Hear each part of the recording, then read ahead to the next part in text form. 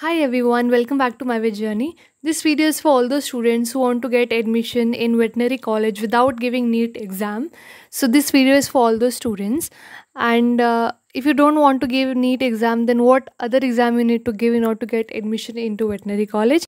So this video is divided into two parts, part 1 and part 2. This is part 1. I'll shortly upload the part 2 as well.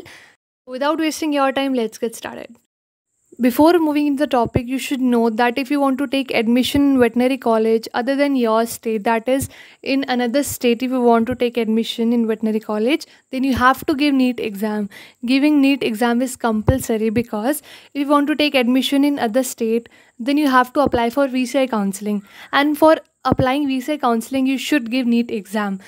So if you have not given NEET exam, then you cannot take admission in veterinary college of other state.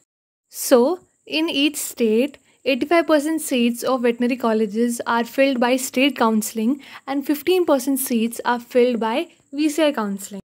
So the state counseling is only for their own state student and the VCI counseling is for all the students including their own state students.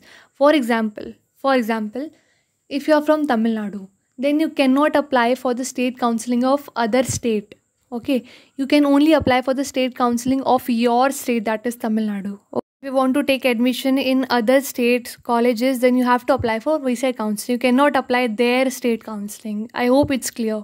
Now some people ask that can i take admission in my own state through VCI counseling? So definitely yes you can participate in VCI counseling and you can take admission in your own state college. Now if you are from that state where NEET is compulsory to apply in state counseling, then you have no option. You have to give NEET exam because the state counseling is also through NEET exam and VCI counseling is also through NEET exam. So NEET is compulsory.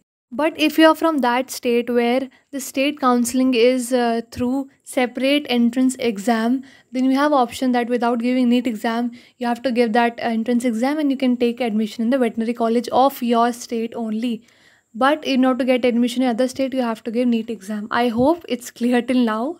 Now let's see one by one in which state separate entrance exam is there and in which state only NEET exam is there order to get admission into veterinary college.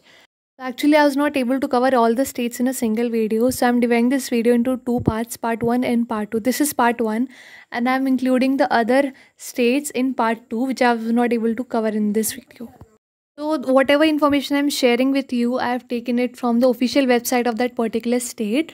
So in each and every state, they have their particular university website. So from there, I have collected the information I'm sharing with you.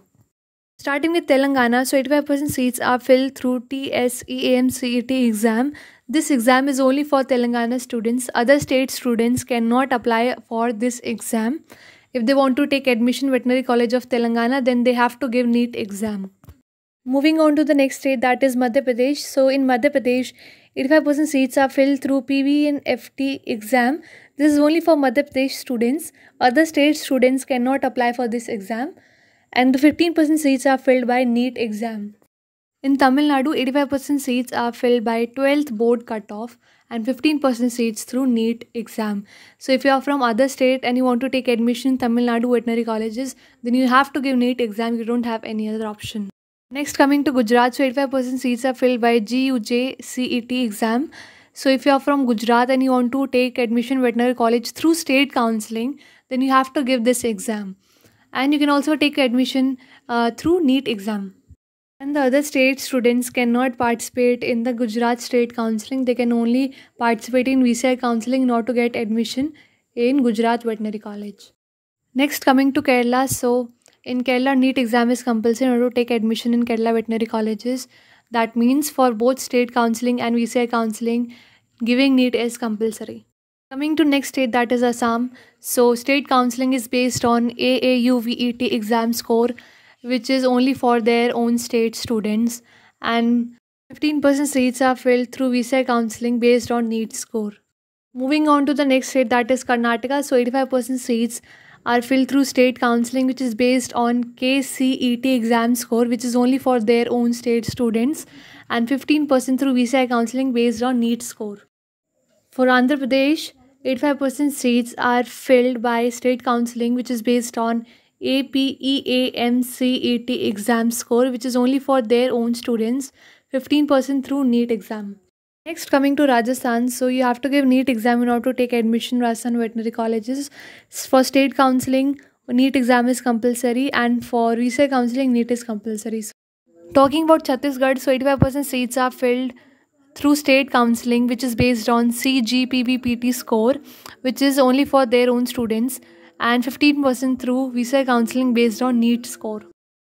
Now, if you want to take admission in IVRI Bareilly, then you have to give NEET exam because the admission is only through NEET exam. In Maharashtra, also NEET exam is compulsory for both state counseling and VCI counseling. West Bengal also NEET exam is compulsory because both state counseling and VCI counseling is based on NEET score. For Punjab also NEET exam is compulsory. Coming to Arunachal Pradesh, NEET exam is compulsory for both state counseling and VCI counseling. Haryana also NEET exam is compulsory.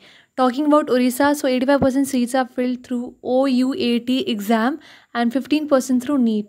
For Jharkhand, 85% is through JCECEB exam and 15% through NEET.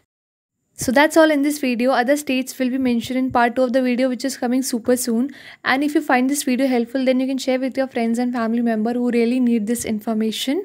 So that's all. Thank you so much. Moreover, I'm on Instagram and Telegram also. Links I mentioned in the description. You can check that out. So thank you so much for watching this video till the end. See you in the next video. Till then, take care. Bye-bye.